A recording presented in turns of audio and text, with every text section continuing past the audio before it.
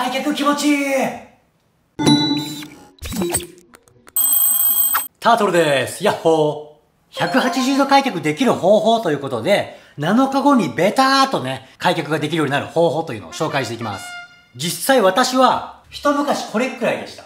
ですが今現在、ベターいきます。ベター全然痛くもないですし、伸びてる感覚ももうあんまりないです。ただ気持ちいいって感じです。開脚ができるようになると何が変わるのかというと、足が疲れにくくなります。そしてむくみにくくなります。足痩せしやすくなります。筋トレをしても足が太くなりにくくなります。ですので、男性もですが女性もメリットはとても大きいです。ですので、180度開脚できるようになってください。ということで、まず180度開脚するためにはですね、180度開脚をしていたら時間がかかります。ですので、伸ばされる部位、ストレッチされる部位というのを一つずつ理解して伸ばしていくことで、開脚をした際にベターっといくことができます。そしてタイミングが大切です。交感神経が働いている時にストレッチをしてもですね、伸びにくいです。とにかく痛いと思った瞬間に筋肉が収縮してしまいますから、そこからロックかかってですね、ストレッチしても伸びないという状況になりますんで、タイミングというのはとても大切です。そしてストレッチの際のポイント、コツ。これが理解できてないとですね、筋肉は伸びないです。筋肉は痛いと思った瞬間に縮みますから、伸ばされたくない痛いって思った時にね、ストレッチをしても逆効果という感じになります。余計に筋肉が伸びる痛みっていうのを感じてしまって、逆にストレッチが怖くなって、逆にもっと伸びなくなるっていうことが起きますんで、この3つを1個ずつ説明していきます。まず、ストレッチされる部位です。開脚する前に必要なことはですね、どの部位が伸びているのかというところです。例えばどこか1個が硬くても開脚はできません。全部がバランスよくやおいので開脚ができます。まず伸ばされる部位。お尻、ハムストリング、そして股関節。この3つが伸びてないと難しいです。そしてあとは、ふくらはぎも少し伸びてないと、最後の最後の180度というのがいけません。これが全部できているとですね、しっかり180度、足が見えなくなるぐらい一直線にすることができます。で、開脚をしてもですね、やはりどこかが硬くてどこがいいかがやわかったらですね、硬い部分はやっぱり伸びないので、1個ずつやってください。まずは1個目。お尻です。足を組んで、四角の間に手を突っ込んでですね、足を掴んで、お尻をしっかり伸ばしてください。左右やっていきます。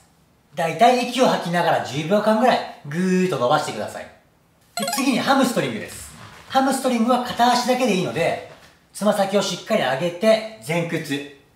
前屈した際に太ももが硬くならないように注意です。この左右、息を吐きながらゆっくり10秒。で最後に股関節です。股関節はですね、このようにして足を広げます。そこからお尻を下げる感じで股関節をストレッチしてください。股関節が硬いとやはり足が広がりませんから、これもとても大切です。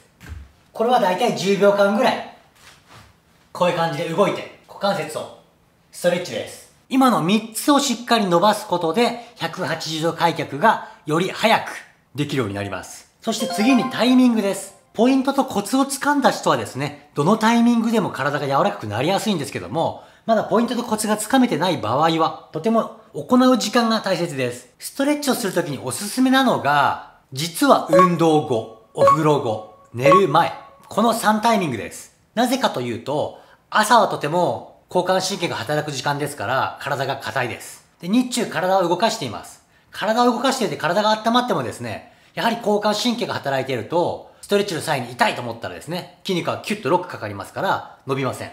ですので、運動後の疲れている時、疲れている時はですね、やはり痛みに鈍感になりますから、疲れている時、またはお風呂後、お風呂後もですね、あんまりあったかい湯に入るんではなく、39度とか38度ぐらいの、ちょっとぬるま湯で使ってもらって、体がリラックスした状態でお風呂上がりにストレッチです。あとは寝る前です。寝る前は副交感神経が働いてますから、体が結構リラックスしてます。ですので、ストレッチされる際の痛みの感覚が鈍くなっているので、ゆっくり伸ばすことができます。そして最後にポイントのコツなんですけども、体の柔らかくなりにくい人の多くがですね、痛みの信号が速いっていうところにあります。ですので、できるだけ筋肉に力が入らないように、とにかく意識をしながらストレッチをしなければいけません。何かにぶつかって痛いって思ったりする瞬間が早い人はですね、筋肉もやっぱり伸びた瞬間に痛いってなると、キュッと縮みまして、そこから伸びないんで、まず痛みに鈍感になる習慣というのをつけなければいけません。ですので、筋肉が伸ばされて痛いって思うんじゃなくって、筋肉が伸ばされていって気持ちいいっていう意識に持っていかないと筋肉は伸びないので、そこの意識をですね、早くつかめるかどうかで、7日後にベターってなるかどうかが決まります。筋肉が伸びて痛いっていう感覚の時に気持ちいいっていう感覚で錯覚させる。それがポイントになります。それができてくるとですね、180度開脚というのができてきます。130度ぐらいまではいけますよって方はですね、股関節が硬い場合が多いので、つま先をしっかり前に向ける。足を開いたままですね。つま先を倒す。股関節を動かす。っていうことをしていくとですね、ペターっといけますんで、やってみてください。